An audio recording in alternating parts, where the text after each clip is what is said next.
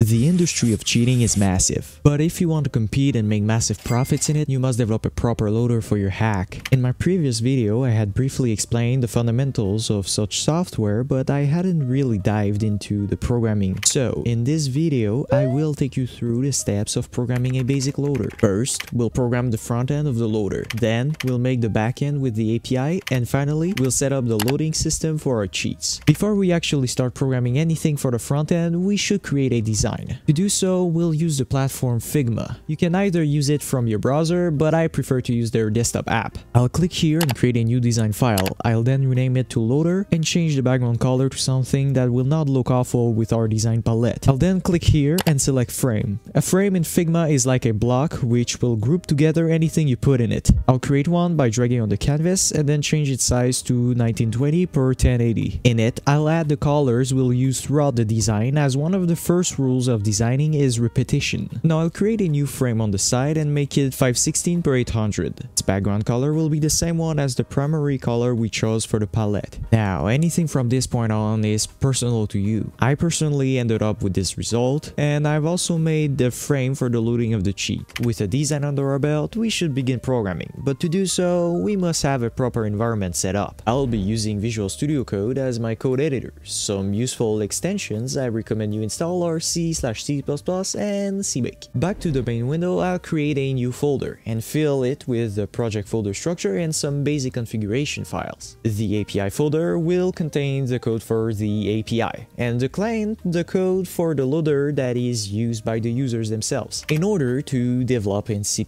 in Visual Studio Code, I use MSys2, a programming toolchain specifically designed for doing so on Windows. After running through their installer, you should have this console open if not, look for MSys2 UCRT64. From there, you'll want to update the packages by running pacman-syu. Once the update is finished, you'll need to close this console and open MSys2 MinGW64. This console will allow us to manage the specific build environment we will be using with our project. You'll want to install the following packages by typing this command. Some of those packages are mandatory if you want to build your C++ app, but others are just some I'm using with my project. Now back to VS Code, I'll set up the client folder structure while adding some CMake configuration files. CMakeLists.txt describes how the project should be built and build.bat is a bash script which will be used to run the commands which will build the project. As the design isn't too complicated, the GUI library I'll be using is the good old ImGUI along with the graphics API DirectX 11. In the source folder, I'll add a folder called graphics in which all the code for the window and the GUI itself will be. I'll add two files, window.h and window.cpp, which will be responsible for initializing and managing the window using the WinAPI. I'll also make a folder called utils, which will store the project's utilities along with utils.h and utils.cpp. In order to start implementing ImGUI, we'll need to add its dependencies to the include folder of the project. It should be preferable to use a compiled lib or version of the library, but there is none in MSys2 package manager, so feel free to do it yourself if you want. Now I'll implement DirectX 11 and set up the GUI each in their own utility files. I made it so the GUI is separated in frames, one for the login and one for the injection. When the user clicks login, a utilities function is called and will make a request to the API. In order to send those requests, I'll use a single header library called http lib. The login utilities function will return true if the request succeeds and set the token which it will have received from the API for authentication. The API will generate this token using JSON Web Token. Now before proceeding further in the client, we'll have to set up the API. For the API, I will use a mix of Node.js and TypeScript. To set up Node.js with TypeScript, simply start by typing npm init-y in the slash API folder. Then npm install TypeScript and make sure to put the save dev option as this way it will install it as a dev dependency. Then npm install the types for node, and of course now we will generate the TypeScript configuration file by doing npx tsc-init. I tweak the configuration files to make building and running as simple as running npm run start. In the new folder source, I create an index.ts which will contain the code for the API. As an HTTP server, I'll be using Fastify, which you can install by running npm install Fastify. Make sure to also install JSON Web Token as the API uses it. The API will set up Fastify and listen on port 8080.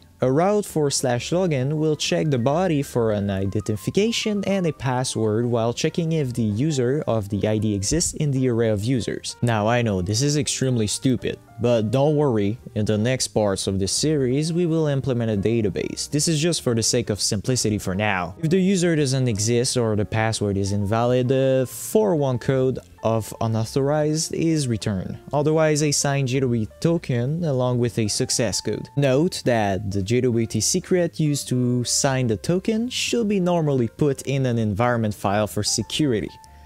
But as I've just said, this is all these stupid little things are temporary. As the lectures will progress, we will improve on this loader and I will show you and explain to you the whys and how to do things properly, yeah? To make life simpler, I've also made a script which builds a client and the API and runs both. This is the basic final result so far. As you can see, when I enter my credentials and I log in, it, it works and if I put anything wrong, well the API returns the 401 code and I get a message box which tells me that my identification was wrong. In the next part of this series, I will explain how to set up a database with the API and properly authenticate and actually fetch and inject a cheat from the server. I had received claims that my videos were feeding script kiddies too much, while I'm convinced that I designed them specifically to be educational rather than just to be a pasting guide, the series aims to be as far as possible from this claim. The aim of this series is to show you how I have gone about making a loader while trying to give you some guidance and providing gradual improvements in every part. If you really want to access the source code, you can by signing up on the second tier of my Patreon, which will provide you said access, all the while getting early access to my content and private help and advice if needed. Thanks to all of you guys who already support me and to everyone, take good care and I'll see you in the next one.